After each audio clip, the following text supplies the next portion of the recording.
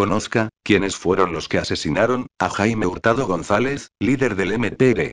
Jaime Hurtado González, nació en Quinindé, 7 de febrero de 1937, y fue asesinado, el 17 de febrero del año 1999, y quien se perfilaba como un claro y fuerte contendor hacia la carrera, por la presidencia de la República del Ecuador, porque representaba a las clases más pobres y olvidadas del pueblo ecuatoriano, y único digno representante verdadero del pueblo ecuatoriano, en aquellas épocas de entonces. Jaime Hurtado González, nació en la parroquia de Malimpia, del cantón Quinindé, de la provincia de Esmeraldas, era un 7 de febrero de 1937. Su vida la hizo en el campo.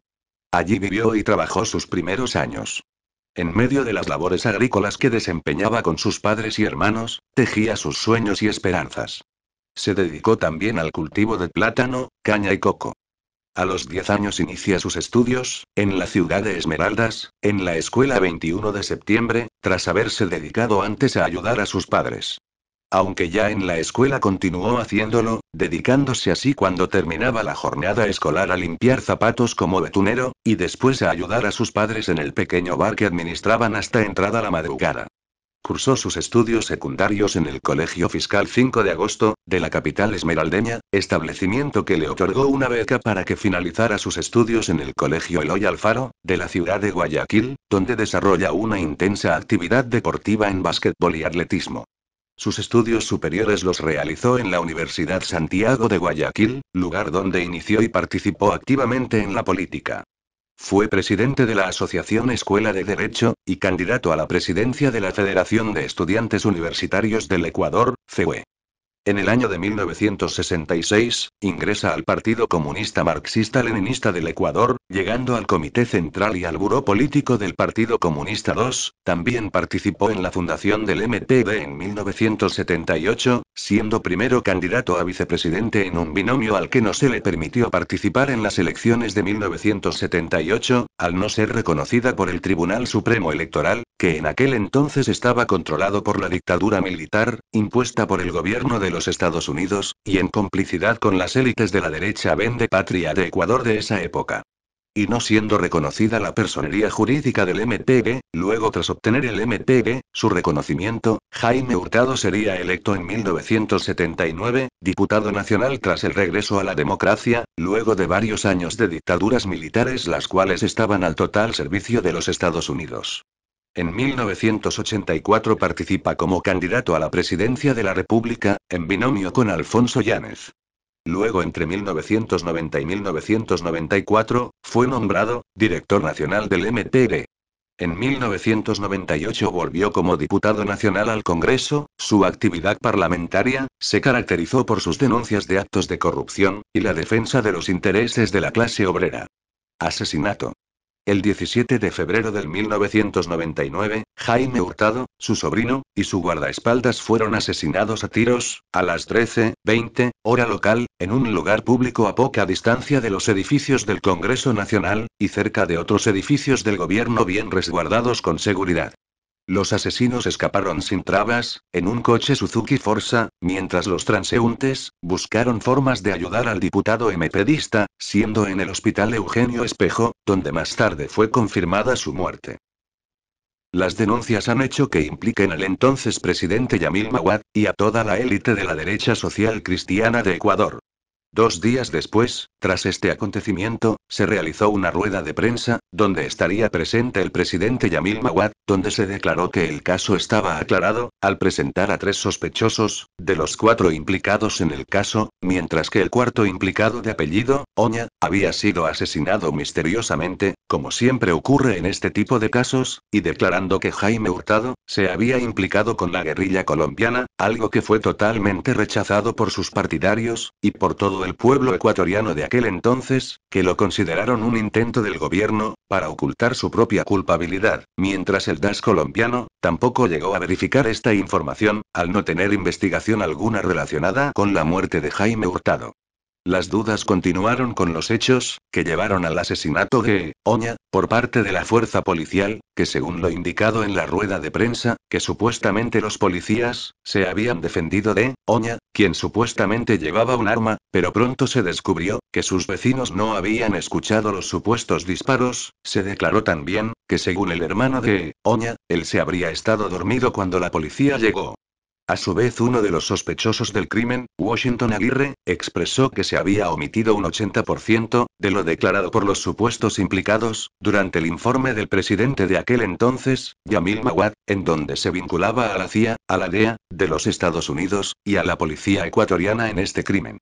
Uno de los presuntos sicarios, Christian Steven Ponce, habían huido de Ecuador, poco después de ser arrestado, y fue capturado en el norte del estado de Nueva York, en febrero del año 2007, cuando conducía un automóvil fue arrestado porque no usaba el cinturón de seguridad.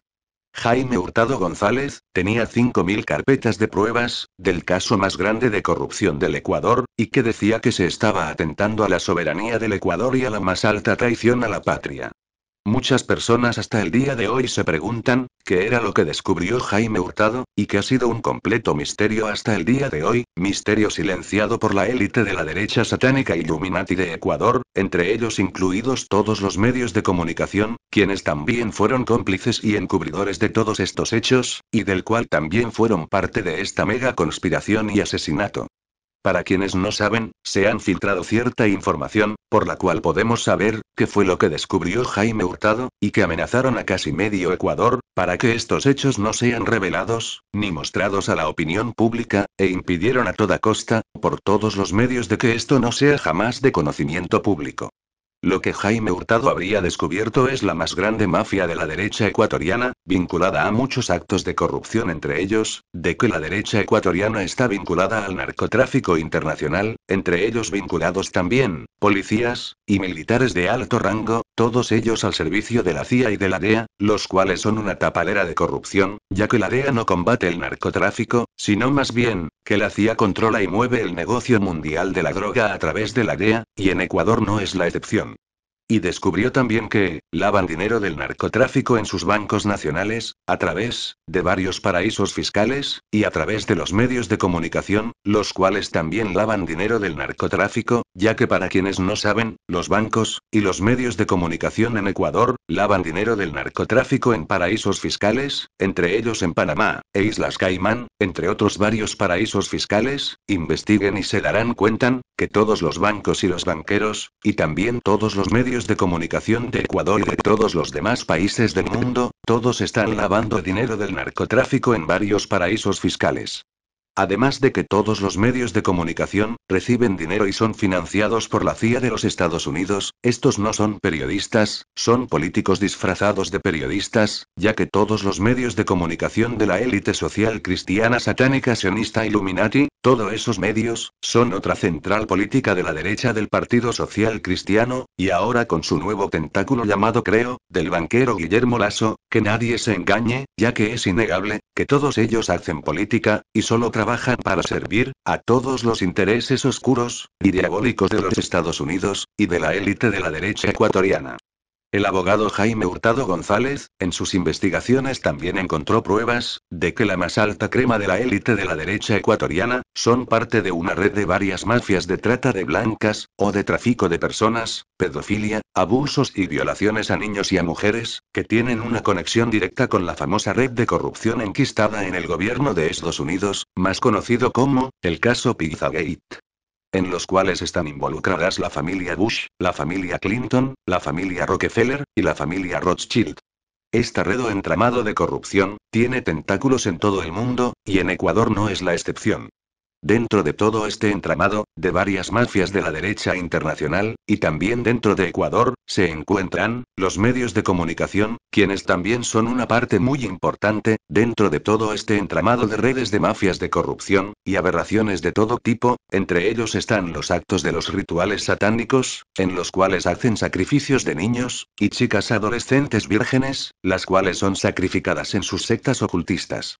El famoso pintor ecuatoriano, Osvaldo Guayasamín, él tenía conocimiento de todo esto, y él sabía con lujos de detalle, todos estos hechos, y él decía saber quiénes eran parte de esa secta o religión ocultista, en la cual están políticos, periodistas, empresarios, y alguno que otros artistas y cantantes de la élite. Jaime Hurtado González, descubrió todo esto, y mucho más que tal vez, nunca lleguemos a conocer. Tras su muerte, Jaime Hurtado ha sido reconocido como una importante figura de la izquierda revolucionaria ecuatoriana. Dentro del movimiento popular democrático, fue reconocido como su líder histórico, pero que los medios de comunicación en el mismo momento de su muerte, comenzaron a calumniar y difamar su honra diciendo, que Jaime Hurtado estaba formando, un grupo guerrillero armado, y una célula terrorista, para tratar de justificar su asesinato. Eso era lo que decían en ese entonces los periodistas de Ecuavisa, Teleamazonas, entre ellos Tania Tinoco, y don Alfonso Espinoza de los Monteros, Diario El Universo, Diario El Comercio y todos los demás medios de comunicación, justificaron el asesinato del abogado Jaime Hurtado González.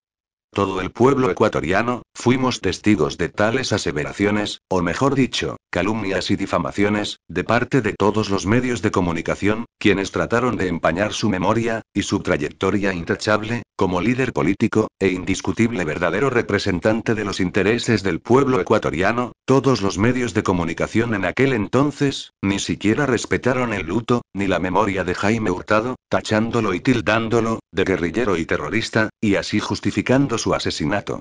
Pregunta. Pregunta para todo el pueblo ecuatoriano. ¿Quiénes fueron los que asesinaron a Jaime Hurtado González, líder del MTG? 1. La CIA de los Estados Unidos. 2. El Departamento de Antinarcóticos de Estados Unidos, la DEA. 3. Policías y militares ecuatorianos, al servicio de la CIA de los Estados Unidos. 4. La derecha social cristiana, lista 6 o, Partido Social Cristiano lista 6. 5. Los medios de comunicación. 6. Todos ellos conspiraron en su asesinato.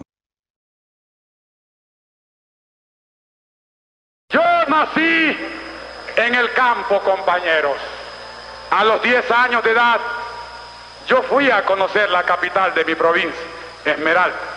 A esa edad entré a la escuela.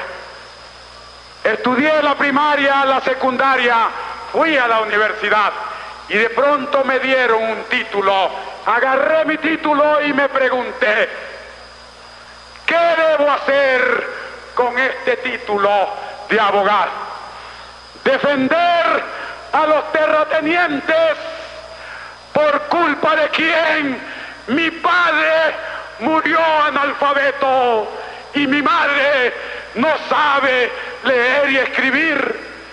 Defender a los banqueros, exportadores, importadores, dueños de casa de cambio. O defender con este título a los obreros, maestros, a los campesinos, a los hombres de los barrios suburbanos que mueren en las peores condiciones. Y desde entonces, compañeros, hemos venido andando junto a los obreros que luchan diariamente contra los explotadores empresarios, con los campesinos, artesanos, hombres del suburbio. Y hoy estamos aquí, compañeros, para decirles, llegó la hora de que levantemos juntos el puño para hacer el gran peso que caerá contra los enemigos del progreso y los pobres de la patria.